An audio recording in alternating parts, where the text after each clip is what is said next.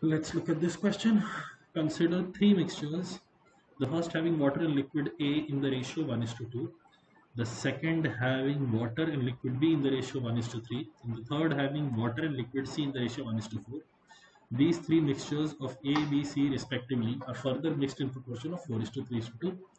Then the resulting mixture has. And then you have four statements given here so if I only have to check statements, I don't need the precise values or I don't need any solving involved.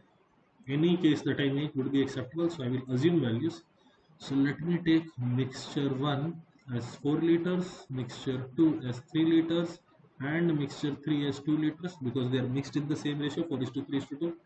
Now mixture 1 has water and A in the ratio 1 is to 2 so water here would be 4 by 3 and here it would be 8 by 3 in mixture 2 water is to b is in the ratio 1 is to 3 so here it would be 3 water would be 3 by 4 and b would be 9 by 4 okay.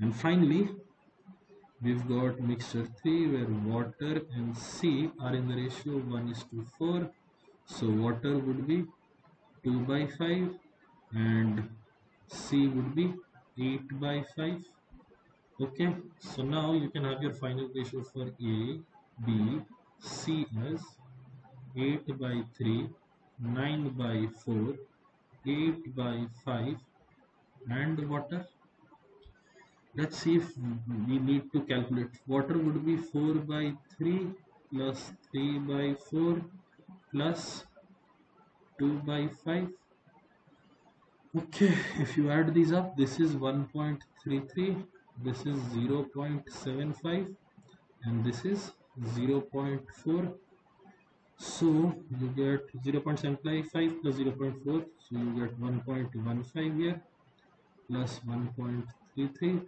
you add these two up you get 2.48 water is 2.48 liters.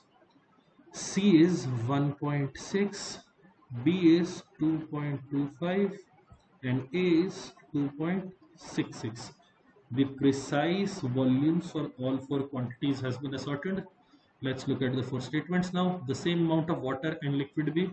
No this is not true. The same amount of liquids b and c no, this is not true. More water than liquid B? Yes, this is true. More water than liquid A? No, this is not true. Therefore, C will be your final answer. Simple number manipulation was required.